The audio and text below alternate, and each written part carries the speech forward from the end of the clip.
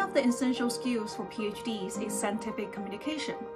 We write grant applications, research articles and reviews, conference abstract, posters, and patent. We give oral presentation in workshops, seminars, and conferences. And the finale is your PhD thesis, where all your years of experiments, knowledge, tears, and sweat are compiled into a single piece of writing and your defense meeting. Scientific communication is part of being a PhD. What about having it as your career? Welcome to my YouTube channel. My name is Ju. I'm a PhD in neuroscience turned machine learning engineer. I've always enjoyed writing, presenting, and sharing knowledge as a hobby. That's why I started my blog and this YouTube channel. When I was in elementary school, one of my favorite subjects was writing, and I loved to read my essays out loud to my parents. I wrote my first fiction about an adventure in the Egypt pyramids, but didn't finish the story because I ran out of creative ideas about traps and puzzles. In high school, I always looked forward to the writing classes on Thursday afternoons. But unfortunately, I almost failed my writing test in the college entrance exam because I misunderstood the question and went off topic. In college, like many others, I started to write about my life and thoughts on social media, such as QQ Space and Xiaonei, the Chinese version of Facebook. Later, I built a personal website to showcase and share my research and data science projects. I'm still writing blog posts both in Chinese and English until today. In addition, I occasionally write uh, short fanfiction stories to explore my favorite characters in the original artwork. During PhD, I developed my interest in scientific communication. My department requires all PhD students to take a scientific writing class. I learned about how to write a research proposal and how to structure my sentences and paragraphs to better communicate a research idea.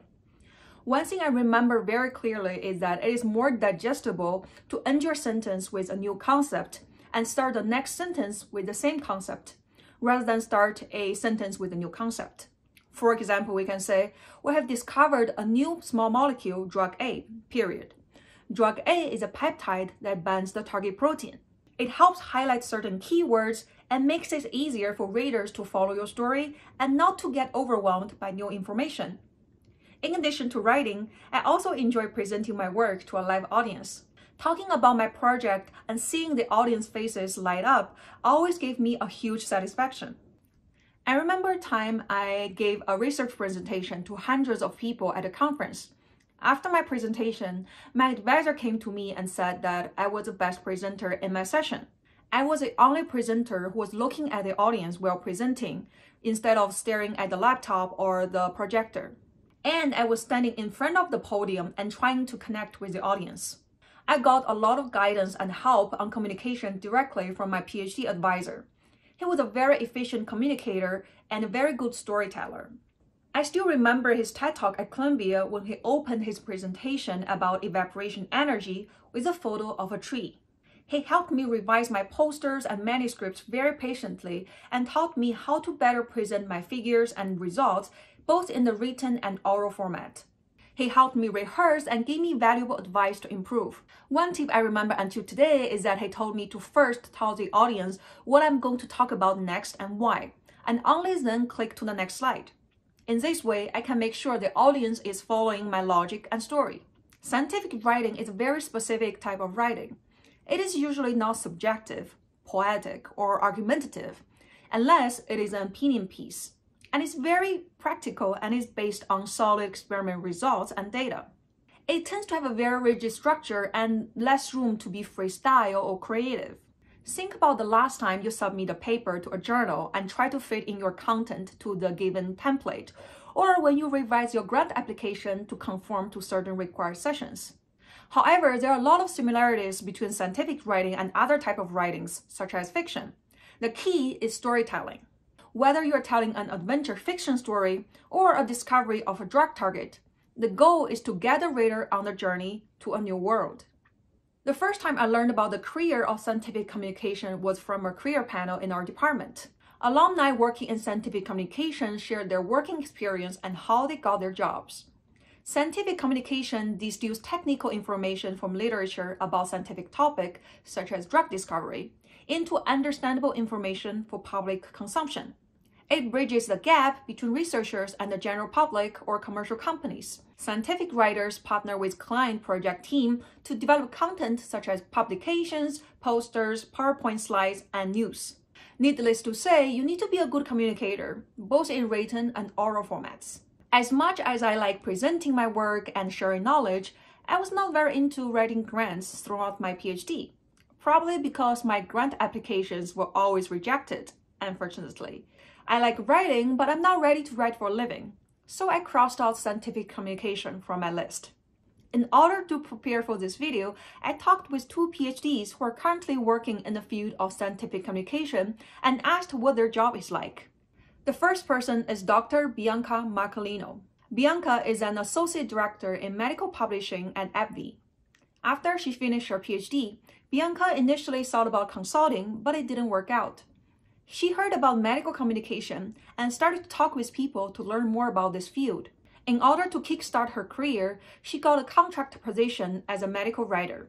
Compared with full-time positions, contract positions give companies more flexibility and less risk in the hiring process. For her, it is a good way to accumulate experience and enter the field. Alternatively, you can accumulate industrial experience from fellowships or internship programs in big pharma companies.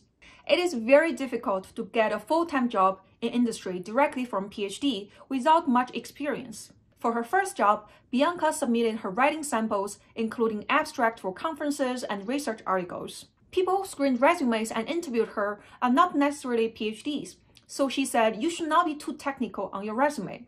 Instead of focusing on the research, she formatted her resume to highlight her communication experience, such as writing and presentation. After her contract position, Bianca stayed to work as a full-time medical writer for a big pharma. Her job was pharma publication, publishing articles to medical journals and conferences posters with clinical trial data. There was a lot of learning on the job. Recently, Bianca was promoted to be an associate director in medical publishing at AbbVie.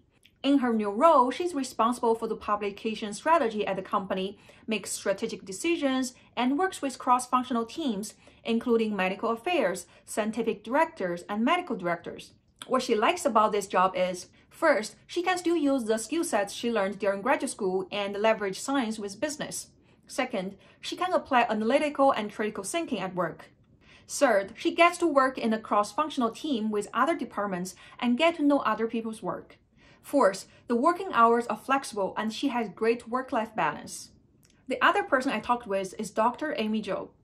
Amy is a senior account executive at LifeSci Communications. Her job is to help clients in public relations. She works with biotech clients to write press releases and conference materials and manages social media and traditional media. After Amy got her PhD, she helped in our department administration. At the same time, she was preparing for a job application in scientific communication. Amy learned about scientific writing during her PhD research. She improved her communication skills from intensive teaching experience and resources from the Writing Center at Columbia. She contributed to a science blog to deliver current science news and original scientific content to laymen and students of science alike. For her interview, she gave an oral presentation and provided writing samples. She also talked with different members on the team.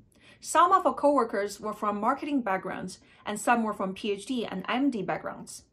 Amy said there's a lot of learning on the job, and there are many training and workshops in the company on public speaking, speech coaching, how to talk with clients, executives, and so on. As for myself, while I'm not in the field of scientific communication, I am in the field of business communication. In fact, we all are. In every job, we need to communicate our work to our coworkers, managers, collaborators, and other stakeholders. And we need to promote ourselves to external audiences and the market. Internally, this could be writing technical documentations, making PowerPoint slides, and presenting at group meetings. Externally, this could be presenting at conferences and meetup events. A few weeks ago, I was invited to give a meetup talk about our team's work, and I tried to apply what I learned about public speaking in practice. In the next video, I'll share with you my next career exploration in public policy. See you next time!